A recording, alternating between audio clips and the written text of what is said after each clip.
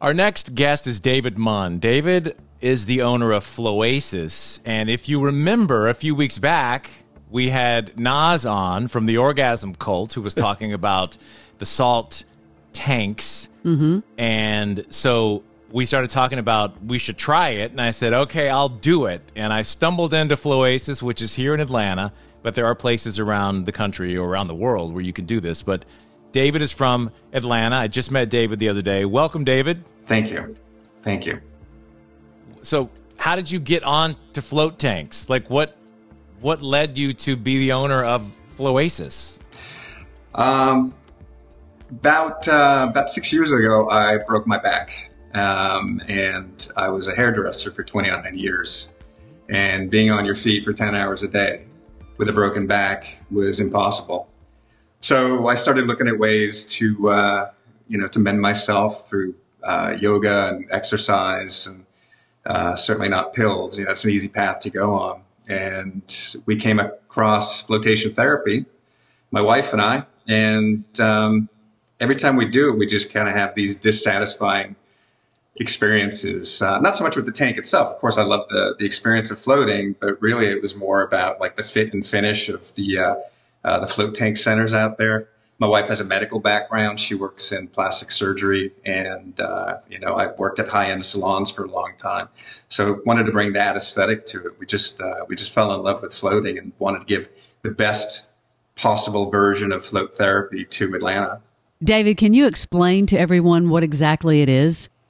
Yeah, absolutely. So flotation therapy, um, it's also called sensory deprivation therapy. And we have soundproof rooms that the lights go down. And then we have these massive bathtubs with uh, 200 plus gallons of a saline filled solution. Wow. And if you're just listening, check out the video portion. It's wild. 1,200 pounds of salt per two ga- 200 gallons of water.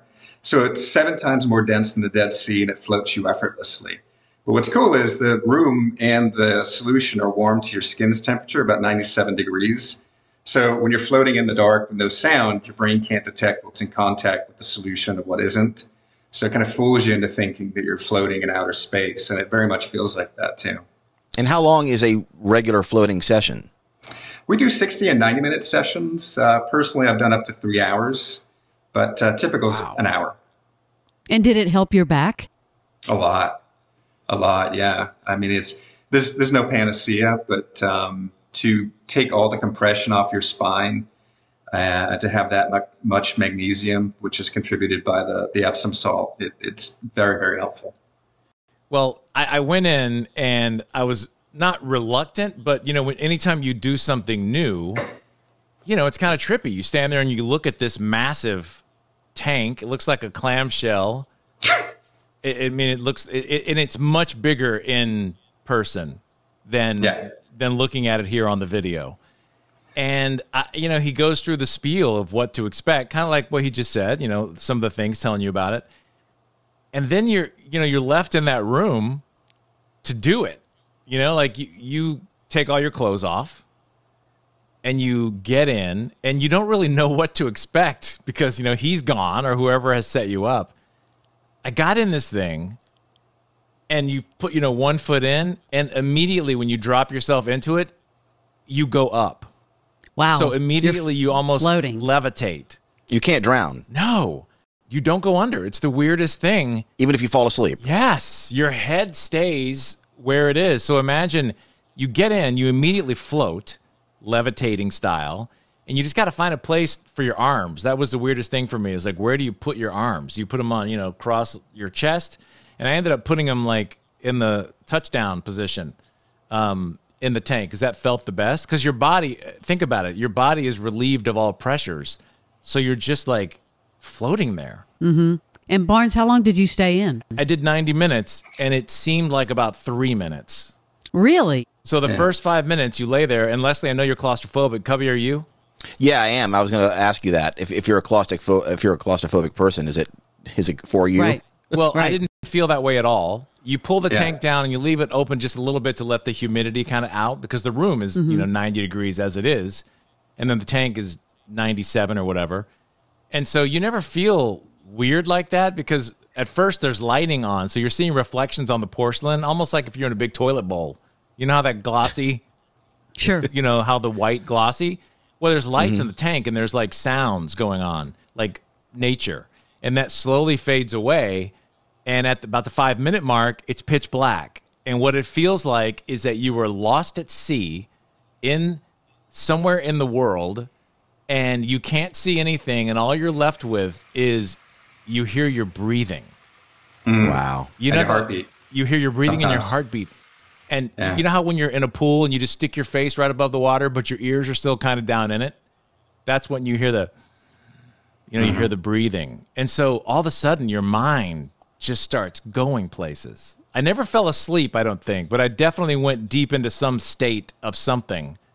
Um and then it ends. And then and you you're like, wow.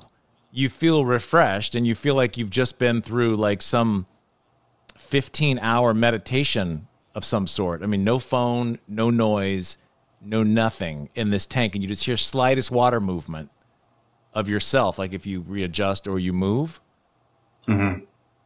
But the next day, I felt more productive than I have in probably, I mean, I don't know how long. It was the strangest. Energized? Energized to a, an amazingly strange level. Is that something that's normal, David? Yeah, very common actually. That I, I think the, thing that you're talking about up front is this perception that people have about float therapy because in pop culture, we've seen float tanks in the context of you know the Simpsons and Altered States, um, in uh, Stranger Things. Uh, uh, trying to think of some of the other movies like Minority Report. Um, it, it always is kind of linked up with this kind of psychedelic experience, like you know, the guys from the Big Bang Theory go in and all of a sudden they're just tripping balls for an hour and come out, you know. When it's really not like that at all. You're not going into the upside down to, to fight monsters. Um, I mean, maybe figuratively, um, but it, it, it's it's a profoundly relaxing spa experience, and it's it's funny how people have this perception of what it actually is. Um, but what you just described is more common that people who feel like they're going to be claustrophobic aren't because the tank can fit somebody who's seven foot four. It's massive. And then when you get in it, it's even bigger. Um, it, uh, it's just soothing in a way that you haven't experienced before. It, it removes gravity. So when you're in the solution, it's, as I, as I said, it's seven times more dense than the Dead Sea. So you can just let every bit of your fiber relax into it and have that weight carried. So it takes all the pressure off your uh, central nervous system and your parasympathetic nervous system. And it gives you a break, uh, really like you, you haven't experienced. Can you pee in it? Say again? Can you pee in it? Can you pee in it? Well, Yeah. I mean, technically, you could pee in it, but I don't prefer it. But you know, some people might get lost in the relaxation. That's Right. Just true, let things flow. Is this what happens to you? Get lost Cubby, in relaxation, for- wet yourself? Let us know. We're going to talk to your wife about that. I don't, I don't want to watch a movie with Cubby. I do have a question for you. You, you opened during a pandemic, which is a bold move. I mean, what are the protocols in place and, and cleaning it, and how does it work? The, the, the nature of our business is really clean to begin with. So the solution is uh, is a very sterile uh, solution. It's got, uh, as I mentioned, it's over half a ton of Epsom salt, so that's naturally bacteria free. And then the particular tanks that we purchased are the best in the world. They have three, like uh, it's like 12 micron filters, like one twelfth the width of a human hair. Three of those plus a UV bulb. And then also, it's much cleaner just because you don't wear clothes. Uh, clothes are actually a big contaminant for tool uh, for pools. Uh, we don't allow children, which are another big contaminant for everything. Um, and we also, uh, you know, your face doesn't go under ever, which uh, those are the things that really actually contribute to the the um, the swimming pools. So you don't get that with the uh, with the float tanks. You know, I've been in a salt cave, but Oh, to me, this Yeah. sounds like more beneficial because you're actually in it and you're, you know, you're in the water with the magnesium and everything else. Yeah. Um, you know, salt caves don't have a lot of science behind them. They feel good, but what they claim, you know, the allergens and, and uh, benefits for lung diseases and stuff haven't really been proven. That's a big, big difference between float tanks. There's been over 80 studies over the last 50 years, including actually one that just came out two weeks ago from the Laureate Institute of um, Brain Research, where they did a uh, uh, double blind with uh, the control group being a gravity chair versus 90 minutes with a float tank. And mm-hmm. they did an MRI before and after. This was 24 for participants for each group. And the MRI findings from the float tank were significantly different than the, uh, the control group and just the chair.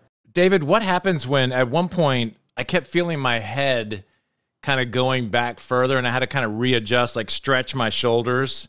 Is it that the the no gravity thing is just pulling you like is your body trying to react to something because it's in a state of no control, really? I think more that's a center of gravity thing. I find that there's a, a sweet spot with where I keep my head. And you're right, it does take a bit of adjustment there. But um, uh, they actually offer, we also offer uh, a head support because oh. some people can't use, get used to that. What does a session cost? And do you have packages? I mean, do you recommend, like, if you do it on a regular basis, you feel even better?